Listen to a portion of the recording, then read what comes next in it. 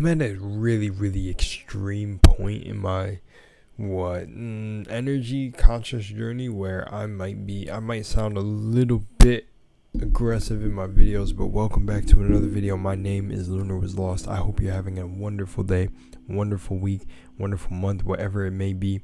Don't let what's going on in the world affect you because the real world is inside you and the world outside of you is a reflection of what's in her on all your beliefs and everything like that.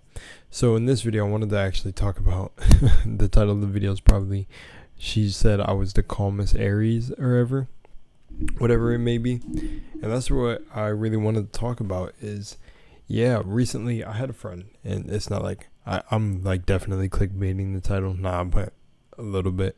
But she said I'm like the calmest Aries. She's known or one of the calmer ones. I think it was one of like the calmest. Because yeah, like I keep saying is this whole the whole point to getting into astrology that's like the first of breadcrumbs. So that's fine. When you start learning about it it's cool. And when you start learning about like the different houses and stuff that's where it starts getting a little bit deeper and like the reason for things. But one thing i love to push because i knew this as a kid and funny enough before like I really started um I'm just clicking around, I need to stop. Before um the programming started with you know everybody goes through where you you know you come here you're a fresh slate and then the program gets you which is school and everything else and parents beliefs and all this trauma and yada yada the one thing i knew is that everything here is belief and what you choose to believe like everything's like attached to belief.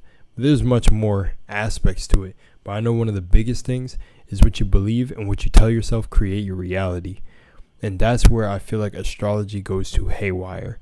So a lot of girls always are shocked. Oh, you're an Aries? Oh, and some of them go, "Oh, you're an Aries." I can tell, but they don't tell off of my personality. They almost tell off of the things I talk about, which I feel like then that is a deeper aspect of how they can tell I'm an Aries. But sometimes some people like I've been called Capricorn, Scorpio, bunch of shit. And I even tell some people, no, listen, don't don't you know, it's it's not it doesn't matter what sign someone is.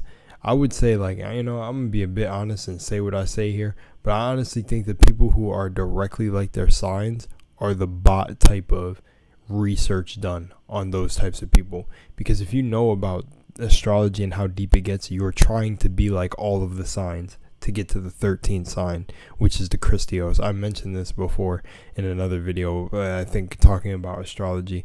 But the point is, is you're trying to be all the signs. So just like people can't really read what kind of sign I am, which if you want to know, I'm an Aries uh, sun, Aquarius ascendant, and then Leo moon, and then you got the Virgo and all that stuff, like the Virgo in whatever I don't know if I actually have a Virgo in my house. Just can't remember. But the point is, is that I flow between all of them. You can't really tell what I am because you can't describe me. I'm indescribable by anything that is defined here. Like this stuff helps you get to the point where you realize that you're a fucking god. Nothing can really define each and every god that's here. But astrology is definitely the start.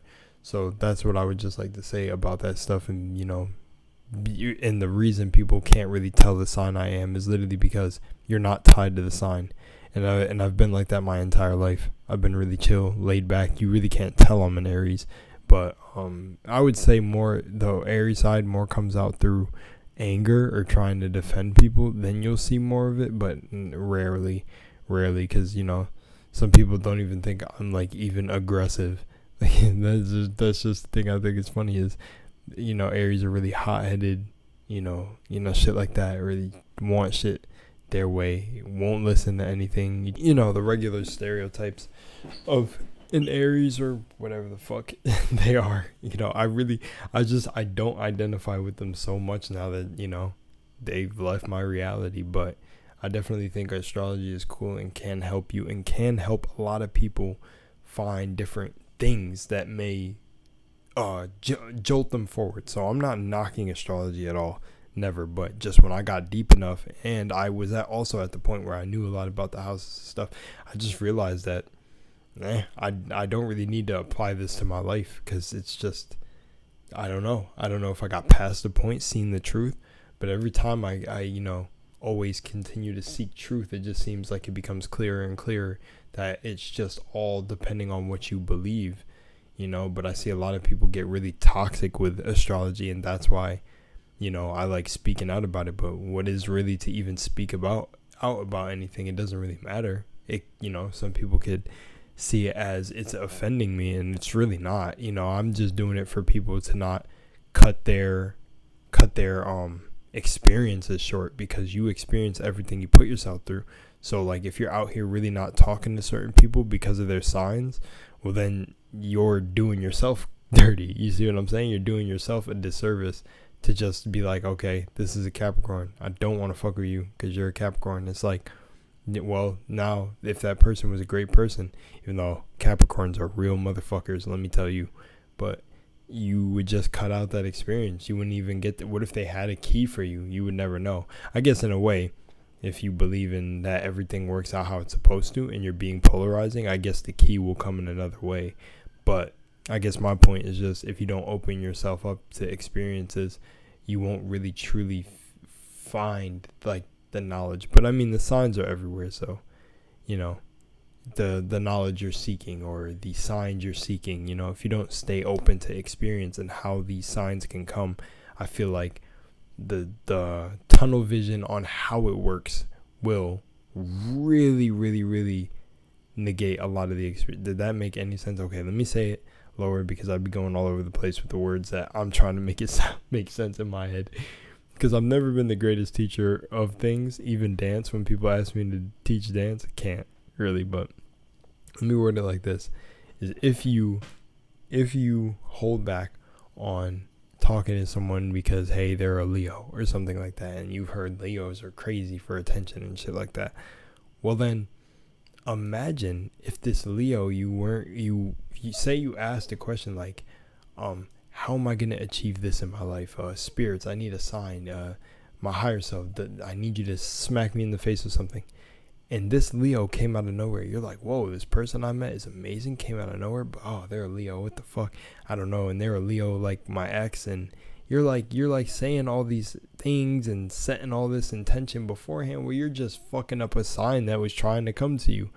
And you, you all know that the universe, source, whatever you believe in, will fucking deliver that shit as a punch to your face if you, like, you know, start not being open to accepting this shit and letting go. But say you just turn that Leo down and you don't even know if that Leo was, you know, love is easiest to talk about. I'm not even to lie. So, and I have so many love stories. So, but example is like you kicked the Leo out your life and you didn't even know that that Leo could have been like this three year good relationship that maybe y'all still broke up, whatever, that's fine. But you never even known that this person was going to give you a, a whole nother outlook and point of view of life. You never knew. But you just casted them aside because you called them a Leo. That's the toxic astrology type of shit I see go down, and that's why I like to just mention it sometimes. But am I all offended by it? No, because none of the girls I attract in my life instantly judge me off of my astrology. You know why? Because my uh, beliefs and according to all my beliefs create my reality. So I never find girls that are toxic with astrology. And the reason a lot of people do and find other people well because you attract what you attract. So yeah but um when the general general i i'm i'm gonna say i don't know really.